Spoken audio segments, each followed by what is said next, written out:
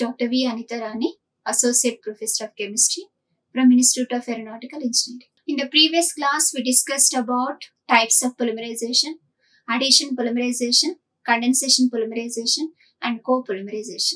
So from addition polymerization, we prepared uh, here polyethylene by adding a number of ethylene molecules and uh, by using some catalyst, benzoyl peroxide. And we have taken another example, polyvinyl chloride and polystyrene.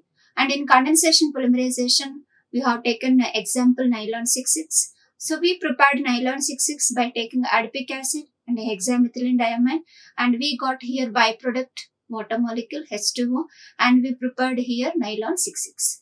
And co-polymerization, we prepared Buna-S rubber by taking a 1,3-butadiene uh, and uh, styrene molecules. So by joining just uh, these monomers, the two different monomers, 1,3-butadiene and styrene molecules and we got the Buna-S rubber. And we know what is a polymer. Polymer means, polymer means by adding a number of monomers, by linking together a number of monomers. So we are obtaining the polymer. We are obtaining the polymer. So in that uh, polymers, okay, there are two types are there. Natural polymers, synthetic polymers. In synthetic polymers, again here organic polymers are there, inorganic polymers are there. In organic polymers, again three types are there. So plastics, rubbers, fibers. Okay. So we are going to discuss now about plastics. About plastics. So classification of the plastics. Again, there are two, two types are there. Thermoplastic resins and thermoset resins. So what is the plastics here means the plastics are the polymers. Plastics are the polymers. So it is characterized by the property of plasticity property of the plasticity. They are having a good property plasticity. So we can mold into any form. We can mold into any form. So plastics are the polymers. Are the polymers. So that are characterized by the property of plasticity. So molded to the desired form. So we can make into any shape. We can make into any shape. So molded to the desired form and subjected to heat and pressure and in the presence of catalyst. Means we will apply some heat and we will add some catalyst and we go for polymerization process and we will get the polymer. So by taking that polymer, we can make into any desired form, any desired shape. So the term plastic and resin are considered as synonyms. Means we will think that plastic and resin both are same. Both are same. But that both are not same. But uh, we will think that the term plastic and resin both are considered as a synonyms. A resin is the product of polymerization. A resin is the product of polymerization. So what is resin? What is a plastic? So what is a resin means? It is the polymer. It is the polymer. Means for example, we are preparing a polyethylene. Polyethylene. That is resin. That is a resin. It is not called plastic. It is not called plastic. So a resin is the product of polymerization. Product of polymerization and forms the major part of the plastics and forms the major part of the plastics. Means we are preparing the plastics. We are preparing the plastics. So we are taking polyethylene. That is the resin. So along with the resin, we will add some other ingredients also. Okay, some other ingredients also. Uh, okay, uh, to get a, a, good plastic. Okay, uh, to have a good chemical resistance and to increase the flexibility, we will add some other ingredients. So by adding ingredients to this resin, so that is called the plastic. So plastics are materials obtained obtained by mixing the resin, by mixing the resin with other ingredients, with other ingredients to impart special engineering properties, to impart a special engineering properties. So what is a plastic? What is a resin? Resin is nothing but it is the product of polymerization. Means polymer. Polymer. Polyethylene. Polyethylene is a resin. And what is a plastic? Plastic means these are the materials. Uh, here we will add to the resin some ingredients to get the plastic. To get the plastic. Okay. So why we have to add some other ingredients to the plastic means uh, to improve the property of the uh, property of the uh, plastic. Okay? Means uh, what we are preparing. So to improve the property of the uh, plastic we will add some other ingredients. So we can see in the diagram we can see so different uh, here okay? We are using like a bottles. Okay? You can see the balloons you can see the cups okay? Some fork uh, spoon okay? So we are here uh, taking a plastic and we are manufacturing a number of items a number of items and we are using in our daily life. Now plastics are characterized by lightweight they are in lightweight and they have good thermal and electrical insulation. They have good thermal and electrical insulation. They are very good insulators good thermal and electrical insulation. They have high corrosion resistance high corrosion resistance easy workability. We can mold easily. Okay we can go for drilling. We can mold into any desired form. Easy workability high chemical resistance. High chemical resistance means uh, when we are uh, taking uh, in any plastic cup or any plastic bottle you are taking uh, any acid any chemical. Okay but here it will be resistant to that chemical. High chemical resistance low maintenance cost. Okay. We get it a low cost. We get it a low cost. See for example we are taking one iron bucket one plastic bucket. Okay. So which we will prefer to buy? We will prefer to buy plastic bucket because the, it is light in weight and also low cost compared to iron bucket. Iron bucket cost is more and we cannot carry okay uh, it is difficult to maintain okay. So low maintenance cost and it have good abrasion resistance. Abrasion resistance means you take any plastic cup any plastic uh, like uh, uh, box okay? So abrasion resistance means uh, uh, there won't be any uh, layer will be formed. Removal of layer upper layer okay? So it have good abrasion resistance. What is abrasion resistance? Like removal of upper layer of the plastic. Removal of the upper layer of the plastic. And it have very good toughness and it will be impermeability to water so because of all these uh, characteristics of the plastics uh, so we are using in our daily life for domestic purpose for industrial purpose for medical field in medical field also we are using plastics. Here in classification of the plastics there are two types are there thermoplastic resin and thermosetting resin. There are two types of plastic resins thermoplastic resin and thermosetting resin. So thermoplastic resin means so these thermoplastic resins are which are softened by heating and hardened on cooling. Means uh, when we are heating that uh, resin when we for, for example we will take polyethylene polyethylene. So when we are heating that polyethylene it will become soft. It will become soft. When you are cooling that it will become hard. It will become hard. So thermoplastic resins are those which can be softened by heating and hardened on cooling. Hardened on cooling. So due to the action of heat action of heat the intermolecular forces between the polymer chain breaks. Okay? So when we are when, when we are heating the polymer what happens? We can see very weak bonds are there. In thermoplastic resins uh, very weak bonds are there.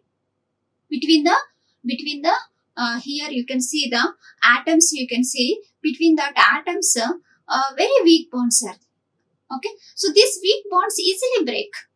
These weak bonds easily break. Okay? So that uh, when you are heating the polymer it, it becomes soft. It becomes soft. So when you are applying the heat the intermolecular forces so between the molecules between the atoms between the molecules what the weak bonds are there it will easily break.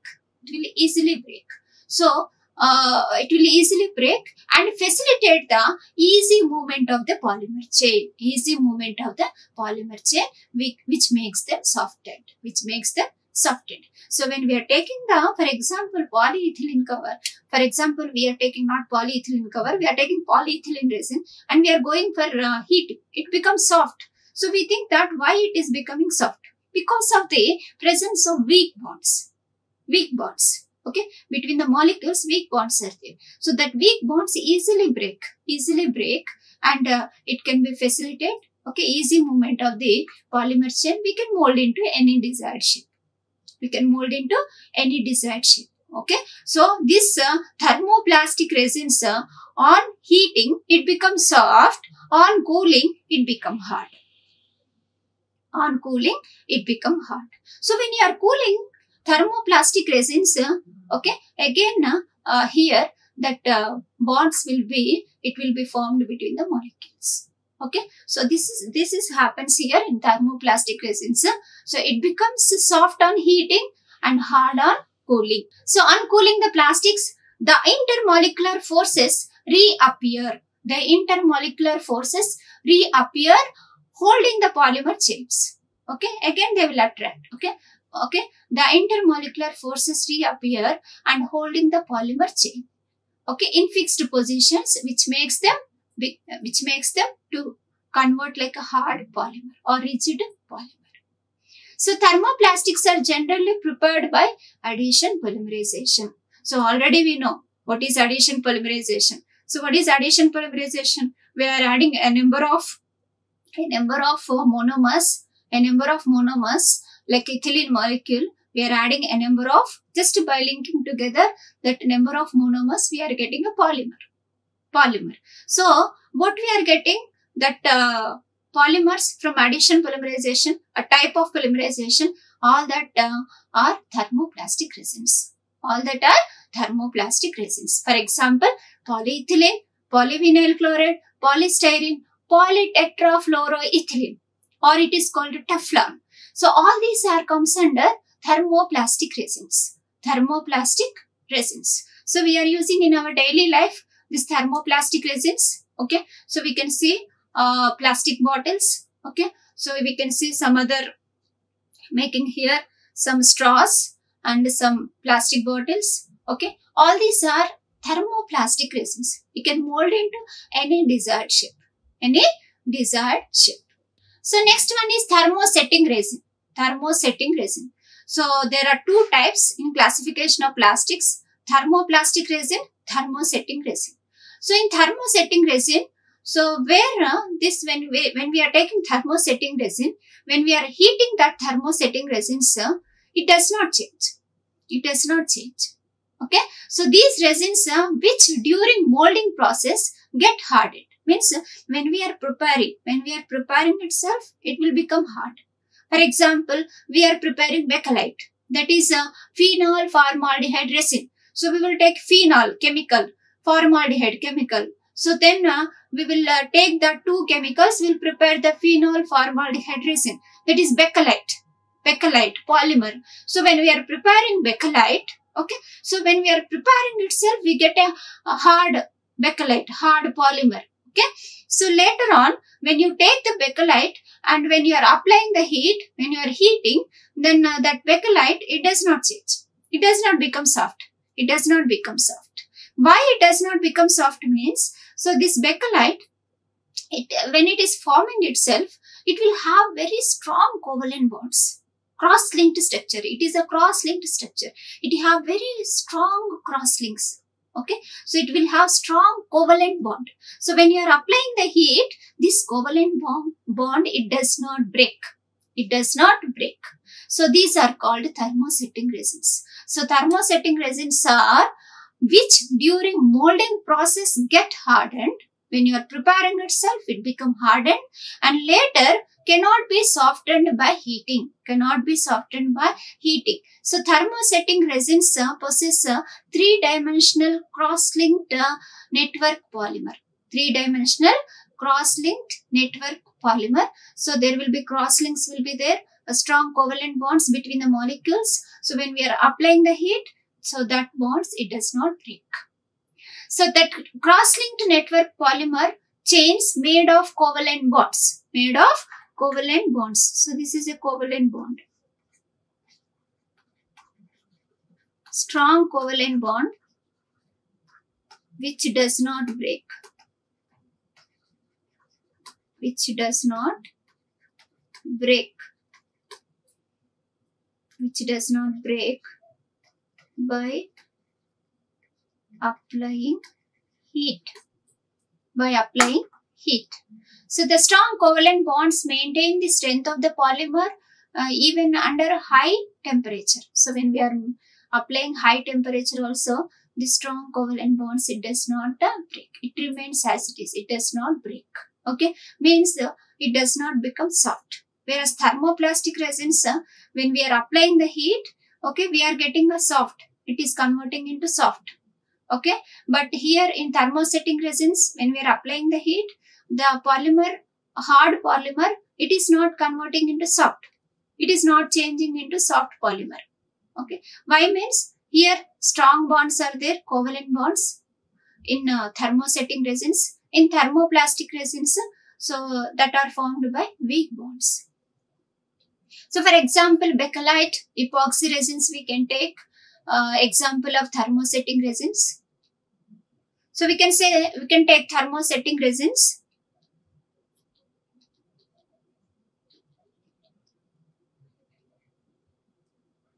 So thermosetting resins bakelite. So bakelite is used uh, in making switches. So we will use the switch. So that the switches uh, uh, we will make uh, here by using uh, bakelite. Okay. So we can see thermoplastic resins, thermosetting resins. So we can understand here no links between the polymer chains. So helps in free movement, helps in free movement because when we are heating that polymer, that weak bonds have, will be breaking and we can mold into any desired shape because of the no links between the polymer chains.